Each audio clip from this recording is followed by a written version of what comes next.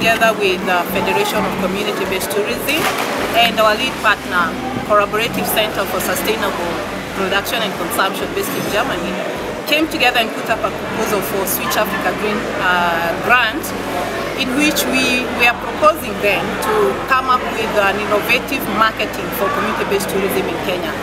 So we are glad that we succeeded. We are one of the grantees in Kenya that are implementing under the tourism sector. And our project uh, is looking at coming up with ways, innovative ways of marketing community-based tourism projects and linking them with tour operators and the industry.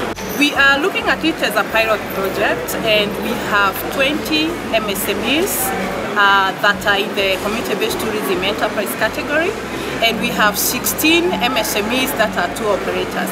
The idea here is to try and link up the community-based tourism enterprises and the tour operators in a forum where we could discuss what are the challenges that CBTE has had in Kenya and how we can overcome this. But then we are going further into a training of trainers because we feel that community-based tourism should be taken with the seriousness that it deserves in Kenya.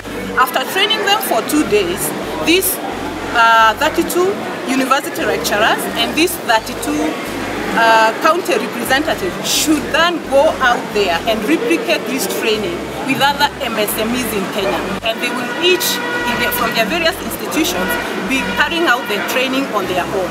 Of course, the project partners, that is uh, CSCP, Ecotourism Kenya and FECTOK, will be monitoring the whole uh, project uh, from the onset and we will be on standby to support them in areas where they need to, to do the training. One of the encouraging things we have learned from the forum is that the organizers of Switch Africa Green are ready to engage with governments in terms of policy, just to ensure that whatever support MSMEs need to move forward in greening the economy, they will be supported.